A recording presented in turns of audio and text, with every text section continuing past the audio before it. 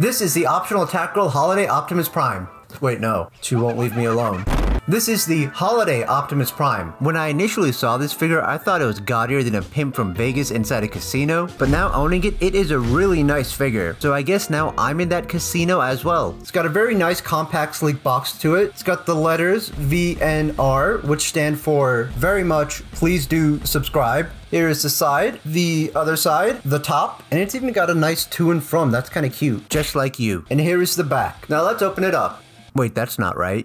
I actually unboxed a figure on my stream. I'll be streaming more, so make sure to watch those. That is a threat, by the way. Here is the figure, and I honestly really like it. This head sculpt is probably one of the best head sculpts I've seen of Optimus. The mold on this figure is completely new. It's very clean and sleek, and it still has that blocky G1 look to it. He's in a nice glossy red with green tinted windows. Here's the instruction booklet for the figure. As always, it is a fold out, and the figure comes in vehicle mode, but we're starting off the review in robot mode. He comes with a very festive festive looking trailer, the Candy Cane Ion Blaster, and the Matrix of the Holiday Spirit. Those are the official names by the way, I'm not making that up. The head also has some green light piping, you have a bit of panel lining on the arms, and the yellow shapes just like on the G1 design. The yellow crotch though is very um, uh, distracting. Now a closer look at the legs, this is my least favorite part of the figure, because the back of the leg is just the front of the truck split in half. I really wish they had it fold in more. Here's a look at the top side of the back half of him, not a bad look. The back of the legs here are hollow, and that might be because this mold could be used for something else in the future.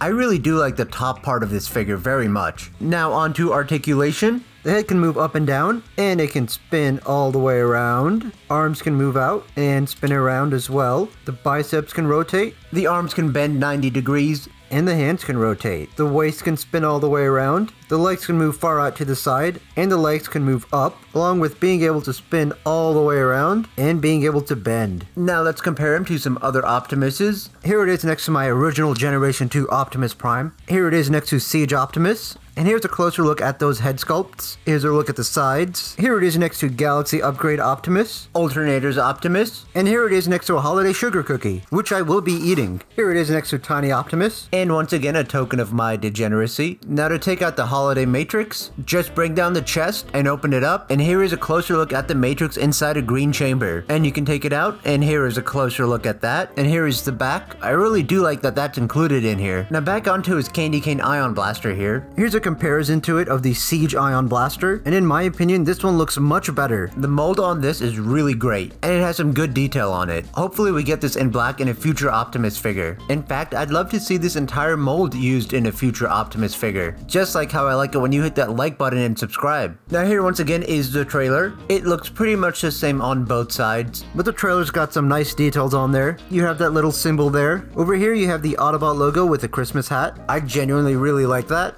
I think it's kind of cute, like you. Check out my Patreon. In the back here, you got some extra detail. The wheels here can't fold in, so don't try to do that, otherwise you will break your figure. And this right here is able to come off. This here can come out so it can stand on its own. Trailer back here can open up, revealing some more detail. Now this is the same trailer as Earthrise Optimus. It's really basic looking on the inside. It would have been nice to see more colors in here, because having just two different shades of white makes it seem like cheap unpainted plastic. Especially this right here. This thing, oh fuck, what's it called? Uh, it is called the auto launcher. So here's a closer look at that. It can fold in and out. It can move up and down. There's ball joints right here. Also, this figure doesn't come with roller, which isn't really the biggest deal though, because then the price of the figure would go up. You do have some nice details on both sides of the trailer, and you can also put Optimus in here like so. I can compare this to my G2 Optimus trailer. Here it is next to the G2 trailer I have. The general aesthetic of both of these is pretty much the same. Now let's move on to the transformation. You want to open up the forearms and the best way to open this is by pushing down on the hand and by pushing up the side of his arm. Then put in the hand, close that. Same on this side. Turn his head around 180 degrees. Bring this up to the top. Now bring it down, out and up. Back on the front side, bring this down. These right here open up, bring this down, and these flaps right here go up. Open these right here, then you can bring this out. Same on this side.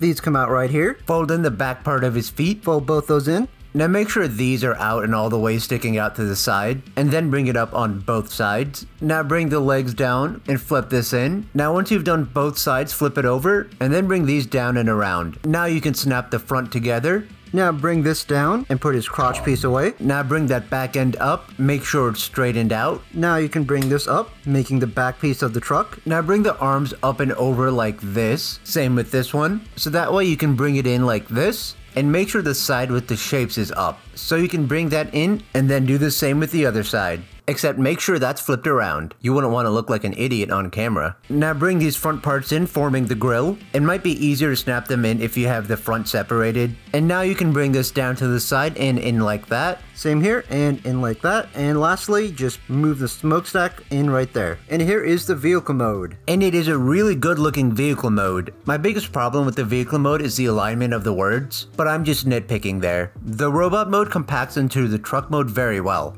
and the underneath is very clean. And from all other angles, you couldn't really tell it was a Transformer. The back you have some truck details right here. And the trailer bed also has a good amount of detail on it. You got the Volvo logo at the front because it is an officially licensed Volvo VNR. And paired with its trailer, it looks really great. There's some detail at the top of the truck as well. I really thought that this figure was just going to be some kind of cheap cash grab, but it turned out to be a very solid figure. And from holding it in my hands... Holy shit, I'm gonna come.